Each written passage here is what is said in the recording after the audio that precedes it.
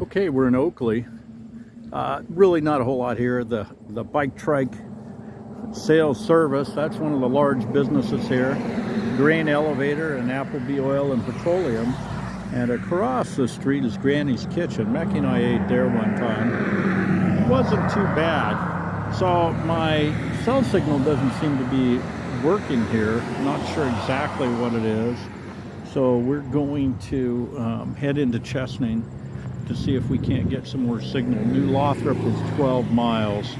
I think we're heading to Chesaning. We'll see. I could change. I'll have to take a look at the map. Anyway, we'll go from there.